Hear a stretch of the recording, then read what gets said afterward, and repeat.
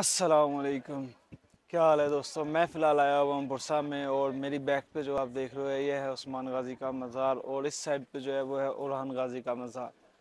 और इस साइड पे सारा अहाता वगैरह है और बुरसा का बड़ा खूबसूरत व्यू नज़र आता है। तो फ़िलहाल जो है ना, आपको ज़्यारत करवाते हैं उस्मान गाजी के मज़ार की। उस्मान गाजी के मज़ार पर अगर आप अंदर को जाओ ना तो गेट पे जो है ना आपको पहले ये दो गार्ड मिलेंगे और ये दोनों गार्ड जो है ना बिल्कुल ऐसे जैसा आप ड्रामों में देखते हैं।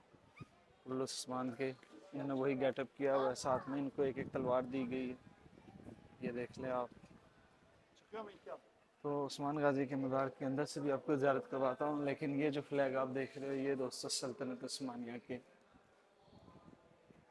ये दोनों फ्लैग फ्लैग और ये जो आप देख रहे हो, ये साइन है एक किस्म का सल्तनत उस्मानिया का। और ये सबसे ऊपर जो आप बड़ी कब्र देख रहे हो, ये उस्मान गाजी की। बाकी कुछ उनके बेटों की हैं इधर और सबसे अच्छी चीज़ जो मुझे लगी है ना दोस्तों, वो ये है कि यहाँ पे एक भाई जो है ना, तुर्किश भाई हमारा माशाल्लाह कुरान पाक की तलावत कर रहा है। तो मैं आपको एक, आपको भी जो है ना, ये है जी साहब मुराद का बेटा।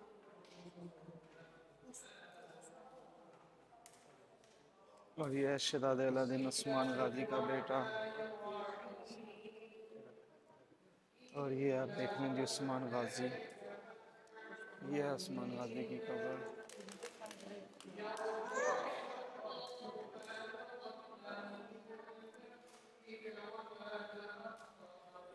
आज लोगों का रश भी जो है ना कह लो काफ़ी ज़्यादा है।